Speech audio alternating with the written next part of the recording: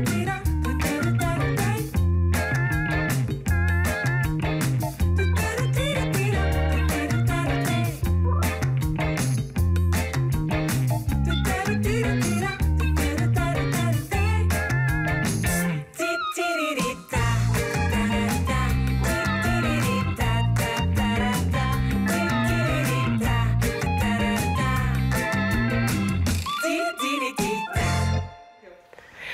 uznať, že na dnešný City Look sa naozaj veľmi teším, pretože bude uh, naozaj veľmi pestrý. Pozrieme sa na uh, originálny český dizajn, potom vás pozveme na jeden zaujímavý ples no a na záver tu budem mať psieho hostia. To všetko v následujúcej hodinke, tak poďte sa na to pozrieť spolu so mnou. A začneme teda českým dizajnom. Je tu so mnou dizajnerka Klára Šípková. Dobrý deň. Ktorá je podľa môjho názoru veľmi, ale veľmi originálna a zaujímavá. Tak som rada, že ste si našla čas. Predstavte nám trošičku, eh, čomu sa všetkému venujete. Tak já se vlastně věnuju hlavně zejména šperku. Studovala jsem vlastně na Pražské uh, vysoké škole umělecko-průmyslové v ateliéru KOV vedený Evy Eisler. A uh, během studií jsem vlastně byla i na stáži na designu, takže vlastně moje šperky jsou trošičku tím průmyslovým designem, řekla bych, políbený. A uh, dělám jednou ročně kolekce, které většinou obsahují náramky, prstínky, naušničky, mm-hmm. brože a přes léto se většinou věnuju snubním prstýnkům. Je to milé. K tomu se určitě dostaneme, ale mě strašně zaujalo to, že v podstatě vás zaujíma kov. Ako se žena dostane právě k tomuto materiálu? Uh, já myslím, že to celé uh, je velice logický, protože šperk vlastně je předmět, který je velice namáhaný, velice um, musí být praktický, vydržet. A prostě kov ke šperku patří, přestože um, mám strašně ráda experimenty mých kolegů, kteří pracují například s lukoprenem, se stužkou, s karbonem, se zajímavými materiálama. Ale uh, kov prostě ke šperku vždycky patřil a patřit bude. Já vlastně um, bych řekla, že to není ještě tak vlastně náročný opracovat a samotná ta práce v ateliéru nad tím šperkem a ty dlouhé jakoby hodiny uh, nad tou konkrétní věcí toho soustředění mě, mě baví. Uh-huh. Ako to vlastně vzniklo, že jste si kedysi povedala, že budete designérkou, že to půjdete študovat? Co vás k tomu vědlo? Tohle je vlastně hrozně přirozený proces. Člověk, když má chuť prostě tvořit a s něčím si hrát a vlastně um, tak, tak vlastně uh, přirozeně přemýšlí, uh, co by ho asi bavilo, co by mohl uh, dělat v životě. A musím říct, že spíš než nějaký úplně kalkul, to pro mě byla fakt přirozená cesta. Mm-hmm. Pojďme si trochu představit to, co jste nám sem donesla na ukážku. Mm. Uh, to jsou naozaj nádherné kúsky, tak můžete to začít nějak postupně představovat. Uh, možná bych začala vlastně kolekcí, která uh, vznikla jako moje diplomová práce. Je to kolekce, která se jmenuje Stretch a který jsem se snažila uh, do šperku uh, vnést pohyb, mm-hmm. že vlastně uh, nerezový ocelový plech jsem vyloženě uh, různými prořezy postupně jako změkčovala a, a ten uh, pohyb a tu, ten, to, to slovo stretch jsem vlastně do toho snažila uh, se postupně zjist, dostat. To samé tohle, je to vlastně uh, rovný plech, který je natvarovaný a, a takovým takovým pohybem na, na, nasměřovaný do toho náramku. Mm. Uh, všechny ty šperky jsou uh, hodně často založený na čistých geometrických uh, tvarech, které mě prostě fascinují a neumím se od toho prostě odpoutat, je to tak a tečka. A tu to vidím například, no přesně to, že to vyzerá trošku jako mapa. Tohle, tohle je kolekce, za kterou jsem byla nominovaná na ceny Czech Grand Design v roce 2011.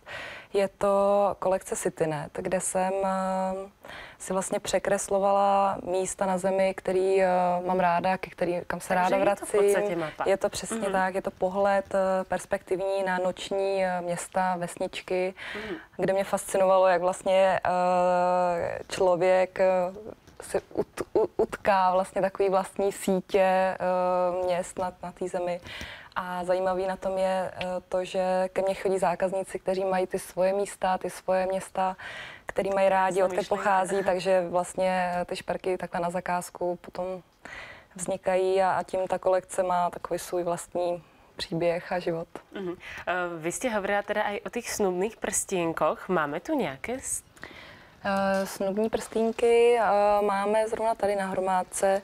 Já se většinou snažím uh, tak je to asi zřejmě logický navázat na uh, konkrétní pár, na vyloženě uh-huh. jejich uh, příběhy, na jejich uh, požadavky a nějakým způsobem tu lásku a to partnerství, ty vztahy a, to, a vlastně tu sounáležitost do toho dostat. To je hrozně zajímavé, protože tam je něco, co se dá spojit a vlastně hmm. takto se to rozpojí a jsou tam nějaké čísla. Přesně tak. Takže to je například Tady vlastně je uh, dátum ich svatby. Skrz, skrz vyřezaný uh, datum svatby, který se často uh, gravíruje dovnitřku prstínku mm-hmm. jen tak, aby to bylo vlastně něco skrytého. Já jsem to pojala jako, že to bude úplně uh, skrz celou hmotu toho prstenu. A když uh, prstínek vlastně je na jedné ruce, tak uh, máte pocit, že se jedná pouze o nějaký dekor, Jasně. o něco zajímavého, co vás tak vybízí k otázkám, co to tam asi je. A potom právě, až když se ty prstínky uh, propojí, tak si můžete přečíst to datum. Takže by se tam dalo i mluvit o nějakém jako síle těch, těch dvou, toho páru, že jako dohromady to vždycky Mňa, mňa teda z vašej práce strašne zaujalo to, že vy ste robila brož pre Madeleine Albrightovú, čo je teda úplne úžasné. Ja myslím, že celý ten príbeh by mohol asi zaujímať aj našich divákov. Uh-huh. Ako to vzniklo? Uh, vlastně Madeleine Albright přijela do Prahy, uh, aby odhalo, odhalila sochu na, na pana Vilzna na, na protihlavnímu nádraží. Uh-huh. A uh, při téhle příležitosti se agentura, která to organizovala, uh, rozhodla, že by ráda prostě paní Albright uh, něčím obdarovala a vybírala z, logicky z českých návrhářů. Vůbec si vážím toho, že měla chuť oslovit designéry, originální tvůrce a nesáhla po běžném šperku, například s českým granátem, což samozřejmě se vybízí jako velice jednoduché řešení. A uh, zadání v podstatě uh, bylo otevřené.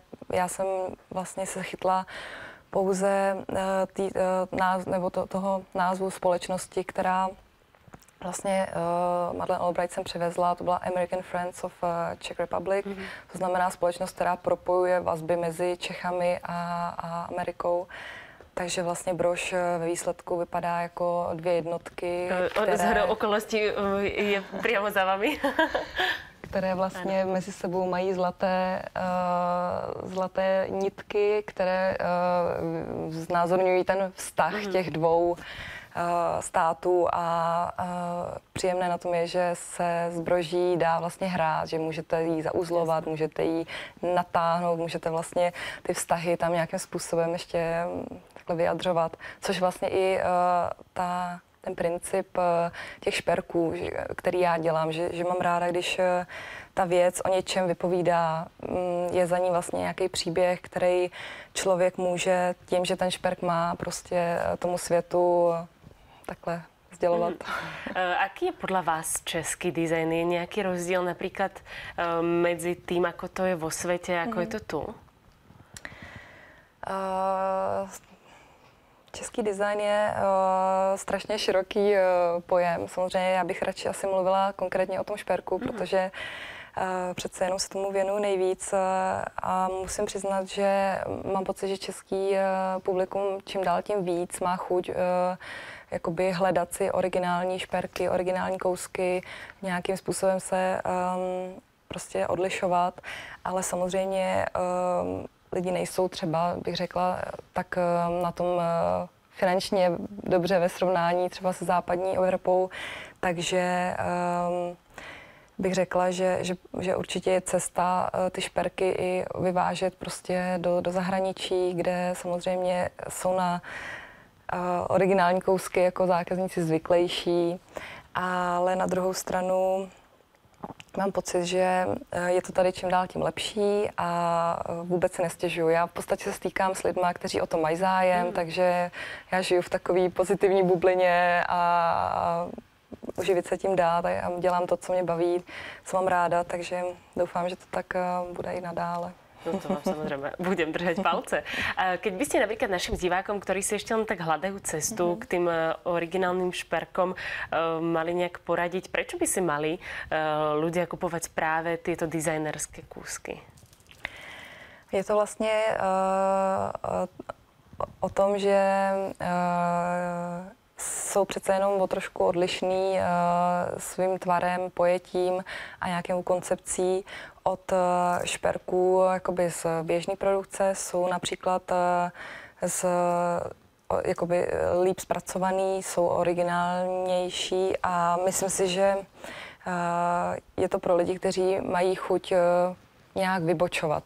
Mm. Mají svůj názor, mají chuť vlastně nejít jakoby tím, tím, tím trendem, ale na druhou stranu já šperky eh, z, z velkých řetězců eh, neodsuzuji. Já si taky dokážu mezi nimi vybrat a vzít si prostě na sebe. Třeba váš náhrdelník je úžasný, mně se moc líbí, moc vám sluší. Eh, pozdravujeme do kostymérny. a prostě uh, mám, mám pocit, že když si odnese někdo šperk ode mě, tak eh, šáhne po něčem jakoby nadčasovějším eh, a po něčem, co mu bude dělat radost eh, jakoby delší dobu. Doufejme třeba celý život. svoje a... osobnosti například, jako ty snubné prstěnky. Přesně tak. Venujete se něčemu jinému jako len šperkom? Mm, ne, pouze jsem pouze jakoby, pro, jakoby profesně, mm-hmm. nebo co se týče... Neskúšala jste něco, že, by, že byste to nějak jako rozšířila i o něco jiné? Uh, nepřemýšlím. Já myslím, Je? že uh, člověk má pořád uh, co dělat jako, a že pořád je lepší spíš se jako zaměřit na jednu věc a tu prohlubovat, než, než, než vlastně mít jako více zájmů, který dělat na polo. Uh-huh. A vy máte teda za sebou aj rôzne ocenenia. Ehm, práve ten spomínaný Czech Grand Design. Uh-huh. Čo to znamená? V podstate, ja by som povedala, to sú také české asi dizajnové Oscary. Čo to znamená v živote dizajnéra, keď ti dostane takúto cenu? Uh, v podstatě je to radost. Uh-huh. Je to příjemný pocit mm-hmm. že samozřejmě tu radost mi dělají každým dnem mý zákaznice, který eh, se třeba vrací, který eh, odchází s úsměvem na tváři, s tím, že nebo, nebo mi zpětně napíšou, že náušnice se jim hrozně pěkně nosí a tohle je trošku větší radost, jako ty, ty zákaznice, myslím. Jasné. A ocenění je samozřejmě fajn že, že člověk si váží toho, že vaši práci ocení odborná porota, veřejnost. Ale uh, další možná ještě, co mě napadá, uh, trošku reklama. Že je to vlastně hmm. spojený s takovou jako reklamou. Príjemné. No, výborne, no tak ja vám veľmi pekne ďakujem, že ste nám vaše šperky prišla predstaviť a uh, držím vám palce, nech máte veľa tej radosti, či už od zákazníc, alebo práve aj vďaka takýmto oceneniam. Ďakujem veľmi za pozvání. A my budeme už za malú chvíľočku pokračovať, tak zostaňte s nami.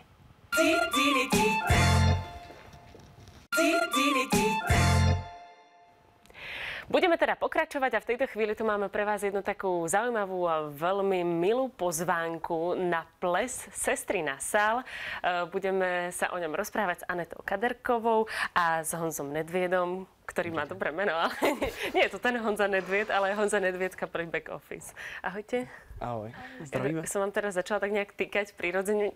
Mne to príde, že asi to bude príjemnejšie, nie? Je v pořádku. Dobre, tak sme, si, tak sme si potýkali. Ešte skôr, než sa dostaneme uh, k Honzovi Nedviedovi so slávnym menom, uh, tak uh, poprosím teda Anetu, že či by nám mohla predstaviť ples Sestry na sál. Určitě. Takže ples Sestry na sál se koná vlastně letos už po páté. A v rámci tady toho plesu uh, my pořádáme soutěž Miss Sestra, mm-hmm. což je soutěž pro zdravotní sestřičky, jak už vlastně ty oba dva názvy těch akcí napovídají. A v podstatě hledáme nejsympatičtější, nejstylovější sestřičku, určitě to není jakoby o kráse, ale o celé té osobnosti té zdravotní sestry. Mm. Takže tahle soutěž na tomhle plese. A mm, proč ta soutěž například je organizovaná, já nevím, nějak samostatně a ples samostatně? My jsme využili toho, že budeme mít vlastně všechny ty sestřičky a lékaře na jednom místě. Mm. Takže proto je to najednou. Mm. A ako táto myšlienka vznikla? Mňa by teda nikdy v živote nenapadlo, že aj sestry majú svoj vlastný ples.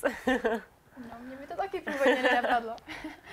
Ale uh, určitě to jejich povolání je stresující, je to vyčerpávající a myslím si, že je právě ta soutěž nebo i ten ples sám o sobě je určitě zajímavá, zajímavá možnost nebo zajímavý způsob, jak prostě jim to trošku odlehčit. Mm. Aspoň na jeden večer, na pár hodin prostě se pobavit a, a vyzdvihnout vlastně i to povolání samo o sobě. To je moje povolání stresující. Já bych těž potřebovala nějaký ples. ples moderátorů. ples moderátorů. tak eh, aby jsme se dostali například právě k tomu programu, tak uh, aby sme sa dostali teda k Honzovi, tak čo všetko mm, čaká návštěvníků plesu sestry na sál v rámci programu? V rámci programu? Tak já bych asi začala tím, že ples moderuje už po páté a soutěž tedy po čtvrté Vojta Bernacký, moderátor. Uh-huh. A bude se tentokrát tak trošku jakoby podílet i na tom herec Pavel Kříž, uh-huh. takže to bude taková moderátorská pánská dvojka. Ono sestřiček tam bude dost, takže to no, vyvažujeme takhle A tak Pavel Kříž je jako celkom dobrá volba k sestrám. Právě, právě, že tak. Takže jsme zvolili tyto dva pány. A co se týče programu samotného o sobě, tak uh, tam vystupuje kapela Back Office. Máme tady teda Honzu mm-hmm. jako frontmana. A potom vlastně na závěr plesu jako taková třešinka uh, vystupují Olympik. Uh-huh. Uh, takže v, v podstatě jste předskokaní Olympiku. no, asi jo. Tak ještě, aby to bylo naopak. A, to... a... Víš, tak jako skáčem zatím. tak, tak prosím tě, představ nám najskôr kapelu Back Office. Kto no, jste, čo jste? Tak my jsme, my jsme taková poproková partička. Vznikli jsme už pár let, to bude. V roce 2012 jsme vyhráli YouTube Fest uh-huh. a od té doby se nám skáče lépe. A, no, takže hrajeme různý festivaly, hodně hrajeme právě v metropoli pražské, pak různý uh, regiony. A teď, teď máme fantastickou příležitost zahrát si i na akci Sestry na sál, na což se teda moc těšíme. Já jsem si vždycky přál sestru. Uh-huh. A teď mám vlastně se, teď jako můžu být u sester. Takže, věci. no, takže, takže se, já jsem vlastně šťastný člověk teď v tuhle chvíli. Prosím tě, jaký je tvůj vzťah k lékařskému prostředí? No, já jsem se to vždycky docela bál a, a právě, že tomu mám docela respekt. My jsme měli kdysi kytaristu, uh, který uh, je neu, neurochir, ne, ne, ne chirurg, ale uspává, anesteziolog. Jo, takže nám o tom vždycky jakoby po, povídal a já jsem, to, já jsem to vůbec nemohl jako fungovat, protože já osobně mám, jak, jak, já nevím, jak vidím krev, tak prostě ne. Ale mhm. poslední dobu se to nějak mění, teď dokonce jsme měli, uh, jakoby u, u, u, nás učili, jak se jako zachraňují lidi, to první pomoc a tak dále. Takže postupně začínám najíždět na to, jak jako k tomu nějakým způsobem si najít cestu, ale je to furt hrozně složitý. Uh-huh. Tam samozřejmě bude i volba té nejkrajší sestry, tak nejskoro podle těba, jako by mala vyzerať taká ta ideální mis sestra? No, to je dobrá otázka. tak uh, měla by určitě umět zachraňovat životy.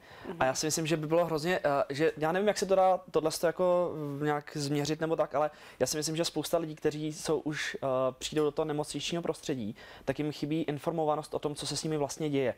Takže podle mě tohle eh, jako nějaká forma komunikace, by podle mě, mhm. když už ne třeba ten uh, lékař, doktor, tak už aspoň třeba sestřička by měla být schopná komunikovat to, co se vlastně s tím pacientem děje. Že to by třeba za mě bylo docela důležité. Tak to bychom museli dát jako volnou disciplínu. No nevím, no, třeba... Právě, právě, že tam jsou i... Jsou tam volné jsou, disciplíny? Ano, jsou. Uh-huh. A jedna z eh, těch disciplín, ona není spíš volná, ale... Je dýchání z úst do úst, ne? A tu máme dobrovolníka prvého. How do you know? ale uh, právě, že porota, která je uh, tvořená těmi uh, nejlepšími, nebo nevím, jestli to tak dá říct, ale top lékaři v České republice, uh, tak každý z těch představitelů, každý jednotlivý porodce vždycky na pódium vyzve jednu z těch sester a položí nějakou zvídavou otázku. Mm-hmm. To znamená, že ona musí bezprostředně na tu otázku reagovat před celým sálem nebo před celým uh, tím žofínem plným. Takže i tak se to testuje. Mm-hmm. To je jedna chudák, z disciplín. Chudák sestra teda. To. Budeš pokládat těž nějaké otázky, či ty jen zákulisí? No já zcela určitě budu podávat nějaké otázky. Já jsem zvědavý právě na ty, na ty praktické schopnosti mm-hmm. a vlastně na teoretické znalosti, ale z praktického to hlediska. podporím, to nebude na ví. A prosím ťa, vieš si predstaviť, že by uh, tvoja partnerka bola zdravotná sestrička? No, tak teoreticky ano. Tak jako možná. Mm. možná. Ok. Tak každopádně musí, musí mít jako určitě první pomoc, že jo, to je jako jasné. Jasné, tak to je základ. No. Tak musí vedieť teda prvú pomoc a asi kopec ďalších vecí. Ale čo teda získa okrem toho, že sa stane Miss Sestra tá víťazka? Určitě ta účast v tom finále, na tom plese, nabízí strašně moc zážitků, přesně dostane se um, jakoby k... Vo výšenie do lepšej nemocnice. To si nejsem jistá úplně, to my zaručit nemůžeme, ale setká se právě uh, s těmi významnými lidmi vlastně ze svého oboru, Mhm. což by mohlo být považováno za, za jedno, jedno velké plus. Ale taky prostě ty zážitky. Většinou, když se zpětně ptáme sestřiček, tak přesně ty zážitky, zkušenosti, prostě zkoušení šatů, make-up, různý Mhm. poradenství kolem toho, tak to je to, co oni si jakoby z toho odnáší. No a pak je tam samozřejmě velké množství cen, takže i, Mhm. i jakoby hmotné věci. Pre koho je tento ples určený? Pretože ja som si najskôr podľa toho názvu myslela, že je to taký ako ten lekársky ples, ale asi to tak úplne nie je. A primárně je to ples pro lékaře a zdravotní sestry, ale samozřejmě, že třeba 40% je normálně veřejnost, protože ten ples už vlastně za těch pět let nabral na prestiži, takže se tam vlastně účastní široká veřejnost. Mhm. Tak aby sme to nejak zhrnuli, takže kde sa to koná? Koná se to na Žofíně příští pátek 14. února na Valentína. Uh-huh. A prosím ťa, eh, prečo ste sa rozhodli valentínsky termín? To je taký... Je to čistě náhoda, Náhoda, ale vlastně všichni jsou z toho nadšení. že to tak, Možná pokud tam budeme my, No tak Možná samozrejme, proto, to bude no. budeme preto. rozdávat lásku. Uh, takže na Žofíne 14. a začína to o koľkej? Okolo 8. Mm, super. My tu máme teda aj listky do súťaže a ešte než prejdeme teda na tú súťaž, tak tu máme ešte aj CDčko, ktoré je teda tiež do súťaže. Ano, A mohol by si přesně. nám ho trochu představit. Uh, ano, je to single back office, mm-hmm. takže pokud nás ještě neznáte, tak soutěžte a vyhrajete kromě lístku Sestry na sál ještě naše CDčko back office. Uh, no a pak vám možná dáme ještě nějaký další dárek. Můžete nás lajkovat na Facebooku a mrknout, kde hrajeme. Kromě. A môžeme, môžeš ho napríklad aj podpísať. A bude Určite. mať ešte väčšiu cenu. Jasně. Výborně. A já teda tam vysvětlím, že se tam podepíšu, ale že tam nejsem hokejista, tam napíšu, když tak. Aha, A nebo fotbalista. OK. No je nás nedvědů opravdu hodně a fakt, že se to občas plete. Super, tak uh, máme tu teda tie dva listky do súťaže uh, pre našich divákov, ktorí by chceli súťažiť. Uh, nemáme pre vás žiadnu súťažnú otázku, jednoducho sme si povedali, že kto z vás napíše prvý na náš mail uh, citylook.metropol.cz, uh, tak dostane tieto dva lístky, aj CDčko kapely Back Office, tak teda píšte. Jednoducho, že chcete ísť na ples, dostanete dva lístky. Ten z vás, kto bude najrýchlejší, takže ešte raz. Citylook zavináč metropol.cz. Výborne. Tak ako sa tešíte na ples vy? My se těšíme moc. A prosím ťa, e, mne by tak zaujímalo, ako si sa ty dostala e, k tomuto plesu? Máš k tomu akože nejaký špeciálny citový vzťah? Alebo... A já pracuji v pořadatelské agentuře, takže je to jeden z těch projektů, Mhm. který máme na starosti. Výborne. Takže nie si zdravotná sestra. Nejsem, nejsem. Super, tak mne sa tento ples naozaj veľmi páči. Dúfam, že sme zaujali aj našich divákov a napríklad sa prídu tiež pozrieť, ako vyzerajú také krásne zdravotné sestry. Ja vám teda prajem, nech sa ples maximálne vydarí, nech sa kapele dobre hrá. Děkujeme. No a my budeme pokračovať ďalej, pretože vás zoberieme na jednu modnú akciu za jednou modnou návrhárkou. Moda je skvelá v tom, že nikdy neviete, akého nového modného návrhára spoznáte. A ja som práve v tejto chvíli spoznala modnú návrhárku Ivetu Pecuchovú. Dobrý deň. Dobrý den. Predstavte nám, akú modu tvoríte. Já dělám dámskou elegantní business módu. Takovou volno... Jsem schopná ji modifikovat i do volnočasové, takže vlastně jak do kanceláře, tak potom může dáma vyběhnout hezky na ulici. Trošku se převlékne, jenom změní mírně outfit a může jít na večeři nebo někam na nějakou společenskou akci. Ukážte nám nejaké modely z vašej tvorby. Tak třeba tyhle šaty z, se silného úpletu se zlatou koženkou jsou úplně úžasné, nádherně sedí, tvarují postavu, že dáma, která má velikost 40 a výš, si klidně může dovolit, protože jí dvě velikosti ubere. Je opravdu perfektní. Hlavne je to skvelé napríklad na túto večírkovú sezónu, keď je hrozne moc rôznych párty. Přesně tak, přesně tak. A je to například i z nějaké uh, konkrétní kolekce, je toto, co tu máte dnes? Ano, tahle kolekce celá, mám tady dva štendry, se jmenuje Femme Fatal prostě dámská kolekce. Tak to se mi páči, že máte uh, takéto zameranie na sexy ženy. Vidím, že máte nějaké doplňky. Také, také. Snažím se dělat i doplňky, přece jenom doplňky dodělávají celý outfit, takže je to hodně důležité pro mě. Uh, poprvé jsem vyzkoušela udělat kolekci šperků uh, pozlacených, takže už si u mě dámy můžou koupit i tyhle kousky. No a samozřejmě zima, ani je to len o šatičkách, ale i o teplejších věcech a ty jsem u vás tiež našla. Tak, mám úplně nádherný uh, sitě modrý kabát, kašmírový. Tady zrovna můžete vidět na modelce se zlatým páskem, který to krásně doladí. A proč jste se rozhodla právě pro modrou farbu? Je to pro vás farba této zimy?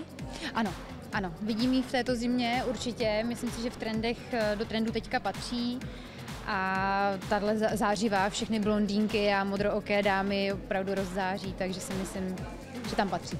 Prezraďte mi ještě, čím se inspirujete, když tvoríte?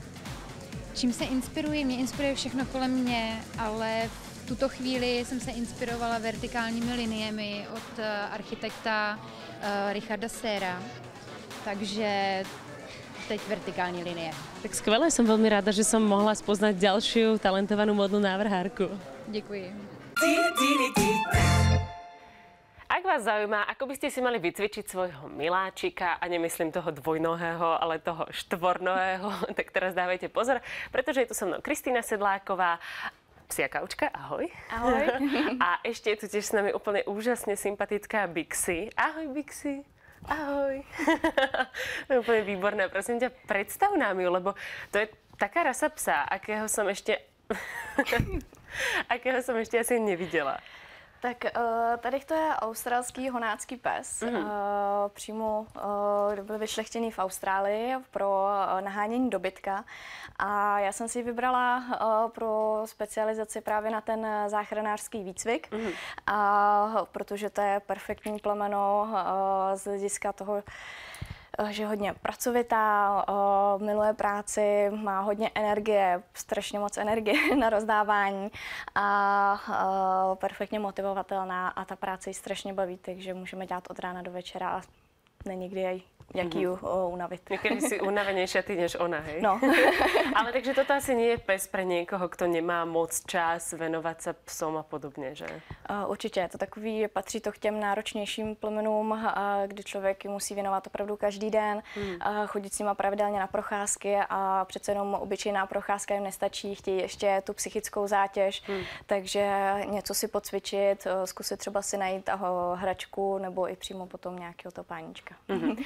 Eh, ty si psia kaučka, eh, čo je teda strašně zajímavé povolanie. Keď som poprvýkrát viděla, že si psia kaučka, tak jsem si hovorila, wow, čo to je? Tak pre tých, ktorí nepoznají toto povolanie, představ nám to trošičku. Tak uh, já jsem si přímo tady ten název uh, vymyslela sama a mělo by to znamenat spojení toho výcviku a psí psychologie.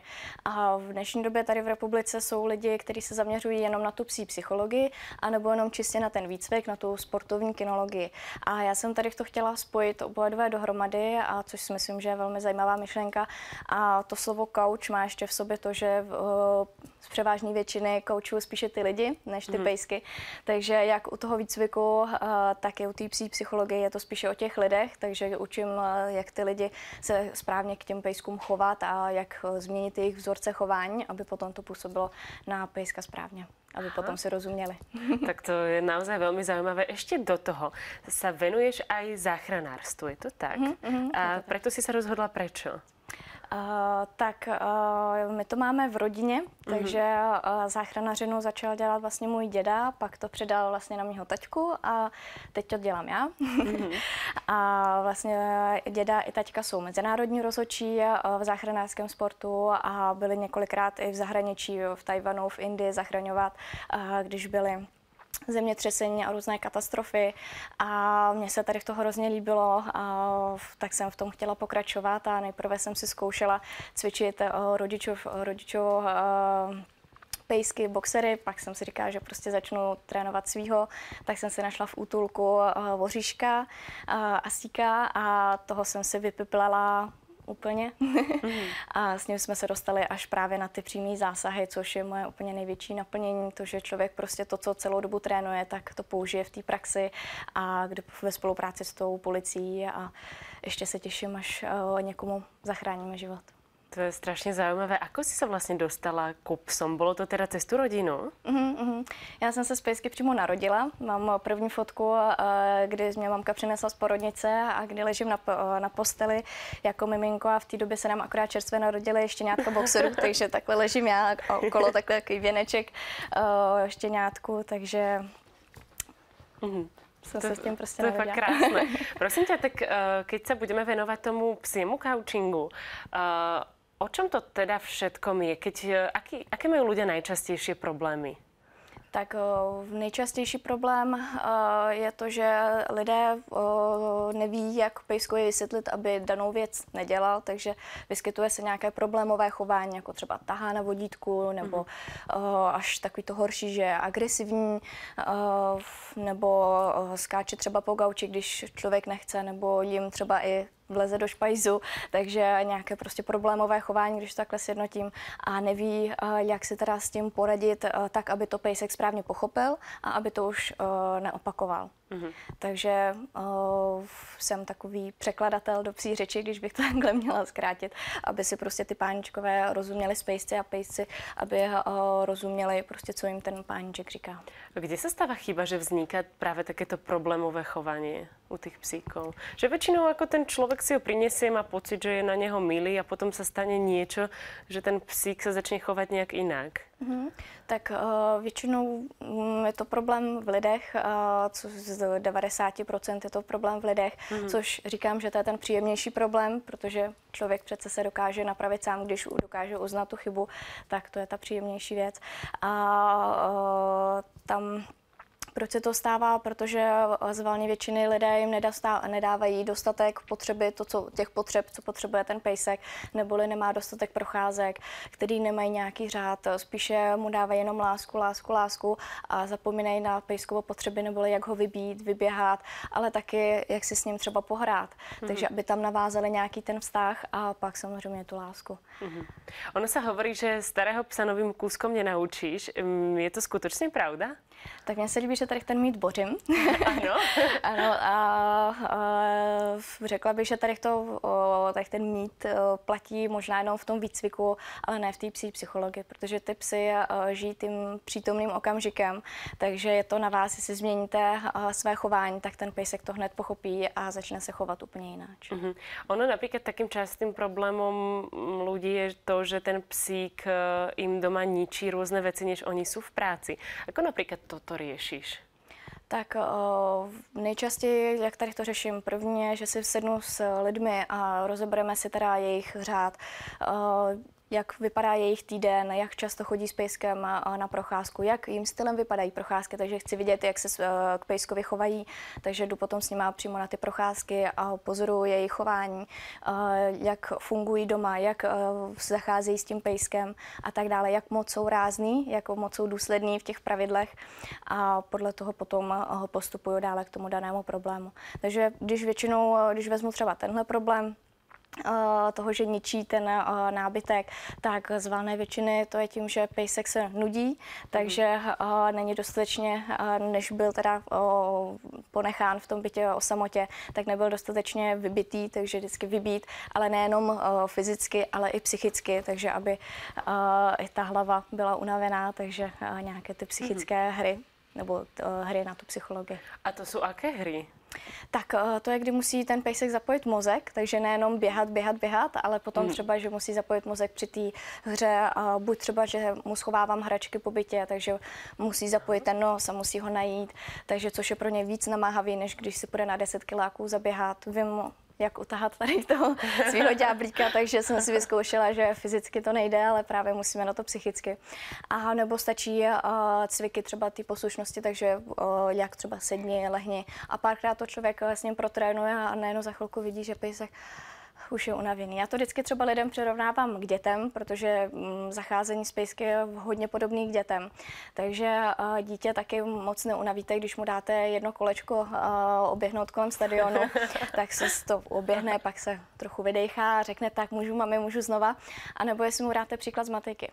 Mm-hmm. Tam potom už jako fuň říká, ne, máme pojď dělat co jiného, už je unavený. Tak to přirovnávám hodně, aby to ty lidi pochopili k těm dětem, mm-hmm. aby s nimi zacházeli velmi podobně. Podle čeho se ti prosím tě darí chápať tu psiu dušu? Protože to je podle mě oveľa komplikovanější, než pochopit toho člověka. Tak to je přesný opak. U toho pejska to je mnohem jednodušší, uh, protože má čistou duši a něco nesnaží se nějak zalhávat nebo uh, dusit to v sobě. Prostě je velice upřímný a dává ty své uh, nálady najevo, když to uh, třeba ty lidé potom už skrývají ty emoce a uh, pro toho třeba psychologa jako takového si myslím, že to může být asi těžší, než mm. právě u toho pejska, který vám hned na oko říká, teda co, co mu chybí, což mm. právě je potom můj úkol, abych to přeložila těm lidem, teda co jim říká. Prosím tě, kdyby se například někdo na těba chcel obrátit mm. uh, a nemá nějaký závažný problém, ale čo ja vím, poradil si štěnětko alebo tak, uh, poriadaš aj nějaké také kolektivné cvičáky? Uh, určitě, já přímo jako cvičák nemám, mm. já spíše praktikuju to, že to dělám po každý uh, v parku akcích, což mi přijde mnohem lepší, Super, protože hej. tam eh, máte tu situaci, to, že tam najednou projde kolem pejsek a jsou tam mnohem více rušivých vlivů a je to pro toho pejska mnohem těžší, což uh, nám více nasimulovává tu praxi, kdy potom, když vezmu pejska a jdu ven, tak tam chci, aby mi v tom parku poslouchal a ne na tom cvičáku. Takže o to potom je to lepší, když potom se páničkové naučí s pejskem eh, pracovat právě už v tom parku a ne, kde máme úplně tichý prostředí v tom cvičáku. Takže takže vybírám ty uh, parky, což mám takové skupinové kurzy mm-hmm. a potom mám ještě uh, druhý typ, který teďka nově rozjíždím, je právě pro štěňátka. Uh, dá se uh, objednat si 10 lekcí, kdy přímo uh, trávím Eh, tu hodinu s tím člověkem samotná, takže jdu k ním třeba domů a každou tu hodinu buď trávíme doma, nebo jdeme na procházku a říkáme si úplně všechny základy, třeba jakým stylem si pohrát s pejskem, aby ta hra to bavila eh, toho pejska, jak aby se tam dal ten správný motiv a aby pejsek potom vám důvěřoval, aby tam byla ta důvěra, aby potom třeba, když se stane uh, rizikovější situace, třeba v průběhu procházky začne žrát něco nežádoucího nebo chce přeběhnout přes cestu, jede auto, tak aby v tu chvíli mě opravdu poslechl. Takže trénujeme si tady tyhle ty situace. Super, tak ti moc děkuji, že jsi nám o tom porozprávala, strašně rychle to ubehlo. Uh, děkuji, že jsi přišla, tebe Dixi. a tak Kristýna Sedláková to je člověk, který vycvičí vašeho psíka a v této chvíli si ale vycvičíme svoje tělo. Dnes som si výnimočne obola tenisky, aby som vyrazila za trendami. Ale pozor, nie za tými modnými, ale za trendami v cvičení a zdravom životnom štýle. Tak poďte so mnou, vyrážame do fitka. A kto iný by mi s tým mal poradiť, keď nie odborníci na lifestyle, Braňo Polák a David Radil. Ahojte. Ahoj. Ahoj. Prečo ste ma prosím vás vytiahli do fitka? Protože jsme zjistili, že strašně lidí si zaplatí dneska permici v nějakém fitness studiu a chodí cvičit tou standardní mm, zvyklou metodou přes ty železa, těma čenkama. A dneska už se to všechno odvíjí úplně jinak a ty trendy jsou spíše revoluční, už ne ani evoluční a přesune se to všechno na studiové hodiny, začínají funkční tréninky a lidi se mají naučit teďka cvičit se svým tělem. No a o toho jsme tady, aby jsme přes naše špičkový trenéry vás naučili cvičit správně. To by tady přidáme rychlost trošku a nehuntovala si tělo, neničila záda a ten celý aparát a začala posilovat uvnitř, to znamená nejdřív to jádro celého toho těla a pak šla ven, to znamená, aby, aby to bylo komplexní a naopak z toho sedavého zaměstnání a, a vůbec toho, že všichni spíš celý den sedí, hmm. tak si se potom v tom fitku spíš hýbala. To znamená kondice a samozřejmě správný, správný cvičení, to znamená funkčnost a ta kontrola, to je zásadní. Proč by se mal člověk obrátit e, například právě na vás, když nejste fitness trenéry? Tak my vycházíme vlastně ze svých vlastních zkušeností, že jo. My samozřejmě máme k tomu trenéry, k tomu, aby nám pomáhali, jo, svaly. E, makáme na sobě celkem dobře, myslím si, že jsme se vlastně od těch trenérů něco naučili, bereme si od nich něco a využíváme je samozřejmě k, eh, k další spolupráci, tak možná proto na nás. E, podléhá aj cvičení nějakým modným trendom?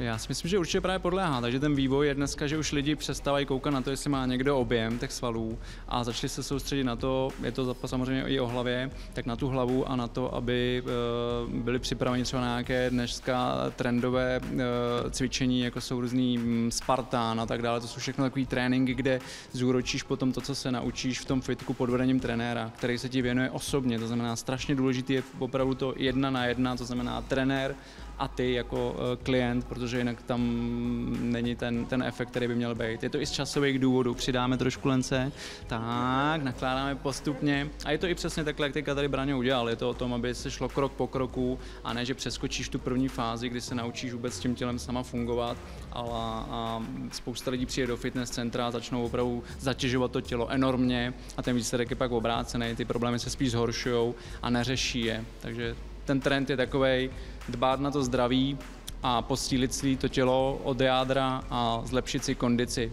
být prostě fit a zdravá, funkční. Dobre, otázku už nemám žiadnu, tak uh, máte tu nějakého trenéra, který by nám teda povedal, kde robíme nejčastější chyby? Dneska za námi přišel Filip Hostinský, to je náš nejlepší trenér, který má spoustu zkušeností a právě hlavně ty odborné a i zdravotní, tak ten se o tebe dneska postará. Jestli budeš ještě schopná toho tréninku s ním, tak... OK, pojďme za ním. Oh. Oh. Prosím tě, proč si vybrat trenéra na cvičení? Protože cvičení s trenérem je vlastně uh, jedna z nejefektivnějších uh, možných druhů cvičení, uh, protože osobní trenér se ti věnuje celých 60 minut nebo třeba i 90 minut a vlastně při tom cvičení tě hlídám. Tréninkový plán sestavuje přesně tobě na míru, individuálně. Takže nevýhoda je vlastně to, když člověk přijde a neví, co má dělat. A ten osobní trenér je tady od toho, aby tomu člověku sestavil cvičební plán podle jeho požadavků a pak na něm dohlížel. Uh, ako by som si mala vybrať takého trenéra? Pretože ja neviem, rozkliknem nejaké stránky, posilovne vyberiem najväčšieho fešáka, ale to asi není úplně ten nejlepší postup. A tak uh, většina trenérů nabízí na začátek takovou úvodní hodinu, aby vlastně uh, se s tím klientem seznámili, samozřejmě i ten klient, aby se seznámil s tím trenérem a je samozřejmě i důležitý, aby si osobnostně sedli. Když budeš chtít třeba redukovat svou váhu, tak asi neoslovíš uh, trenéra, obrovského kulturistu, ale spíš třeba nějakou uh, fit slečnu, která ti bude sympatická a která ti s tím potom poradí. Uh, aké robíme nejčastější chyby při cvičení? Tak uh, úplně asi taková nejčastější chyba je uh, vadný držení těla. To znamená, že my z toho každodenního života, kde vlastně celý den sedíme, sedíme v práci, sedíme v autě, uh, tak máme ty svaly v takových disbalancích, kdy nám určitý svalové partie ochabují a druhý svalové partie se zase zkracují. Jo, takže pak to vypadá tak, takový ty uh, schrbený lidi takhle s tou předsunutou hlavou dopředu. No a když s tímhletím tělem nebo s, s tělem, který je v tomhle stavu, přijdeš do té posilovny a ještě ke všemu nevíš, jak máš cvičit a začneš zvedat nějaký těžké váhy, tak si ničíš klouby, uh, ničíš si i ty svaly, protože přetěžuješ. Takže asi tak. A prosím ťa, mňa zaujímajú teda modné trendy. Uh, ako podlieha cvičenie modným trendom? Tak v dnešní době um, bych řekl, že to cvičení se ubírá trošku jako zpět, že začínáme cvičit zpátky s váhou vlastního těla. Je tady takový odstup trošku od těch strojů. A prosím tě, my tu stojíme přímo pri stroji, na ktorom sa dá sedieť. A pre, ty si hovoril, že to nie je úplně dobré, keď se na posilovacom stroji sedí. Prečo? Přesně, uh, protože vlastně, když se posadím, tak teď na tom stroji, nevím konkrétně, co to je, stroj se na záda, tak teď tady budu posilovat jenom ty záda a povolím u toho břišní svaly. Jo, takže vlastně na to tělo nekladu takový nároky, jako kdybych se třeba pověsil někde na hrazdu, na hrazdu a měl se přitahovat na hrazdě. Jo, to znamená, že když se na tom stroji posadím, povoluji břišní svaly. A břišní svaly jsou hrozně důležitý pro to, aby jsme drželi správně tělo aby jsme uh, měli sílu. A po každom cvičení by mala nasledovať relaxácia. Musím teda uznať, že cvičenie s trénerom je skutočne lepšie než rýchla chôdza na vysokých podpätkoch, len mi ešte stále trošičku chýba motivácia. Ale zase, keď sa na vás dívam, chlapci, tak musím uznať, že tú motiváciu už asi mám a dúfam, že vy tiež. Tak sme tu nakoniec zostali len ja a Dixie, no a na budúce tu budeme tiež vo dvojici, ale ja a Verča a povieme vám, ako potešiť na Valentína svojho miláčika, nie takéhoto štvornohého, ale toho dvojnohého. Povieme vám, aké si vybrať sexy spodné prádlo a ako sa krásne nalíčiť. Tak sa majte krásne, čau.